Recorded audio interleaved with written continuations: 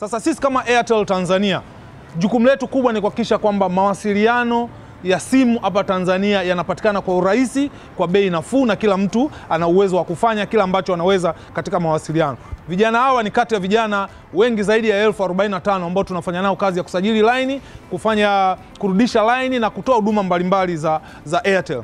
Tunachosema tu ni kwamba katika dhumuni ambalo Airtel imeendelea kulifanya ni pamoja na kuhakikisha kwamba inaisaidia serikali ya Jamhuri ya Muungano wa Tanzania kuhakikisha kwamba ajira kwa vijana inapatikana.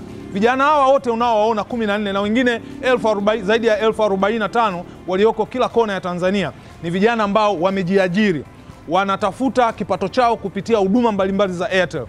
Kila mwezi wanapata kiasi kama commission ambacho wanakipata kwa ajili ya kuhudumia familia zao, kwa ajili ya kujiendeleza katika maisha yao na kila kitu. Kwa kwa namna moja ama nyingine, Airtel Tanzania imekuwa msaada mkubwa sana kwa kutoa ajira, na hawa tumezungumzia tu vijana wanaosajili line, ukiachilia mbali zaidi ya mawakala laki mbili na laki mbili na elfu themanini Tanzania nzima, lakini pia kuna huduma mbalimbali zinazofanyika kupitia hao mawakala au hawa vijana katika utegemezi wao. Kwa sisi kama Airtel Tanzania ninajivunia mimi kama mkurugenzi wa mauzo na usambazaji nikimwakilisha hapa mkurugenzi mkuu wa Airtel pamoja na wafanyakazi, tunajivunia kwamba tumeendelea kutoa ajira kwa vijana, na hiyo ndio imeendelea kuwa dhima yetu na tutaendelea kufanya hivyo. Nafasi na fursa za kusajili line na kujipatia kipato bado ziko nyingi ndani ya Airtel. Tunahitaji mpaka vijana elfu sitini kila mwezi, lakini tunao hawafikii idadi hiyo. Kwa hiyo tunawakaribisha wengine ambao hawapo, wanafikiria kufanya, umemaliza shule, unatafuta mtaji uhitaji pesa nyingi sana. Mtaji wako unaweza kuwa shilingi elfu kumi ishirini,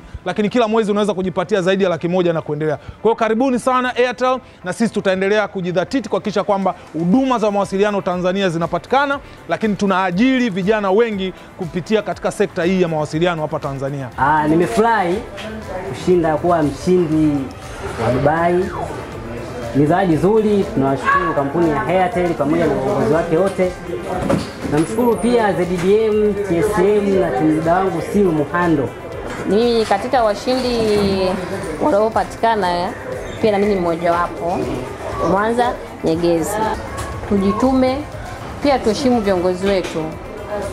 Kwa hiyo fanye juhudi katika kazi, tuongeze jei.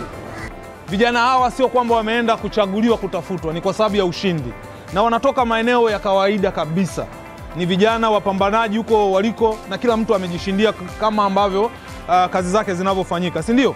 Kwa sisi tunasema tumewa, kwanza tumewa, tumewa, wengi hapa walikuwa hawana passport, tumewatengenezea passport na taratibu zingine zote zimeendelea. Kwa hiyo tunawapenda sana na tutahakikisha kwamba vijana wengine wengi wanaona kazi hii njema na wanaendelea kufanya kazi na nyesi. Kwa hiyo asanteni sana vijana wengi ambao mnaendelea kufanya kazi nzuri na Airtel.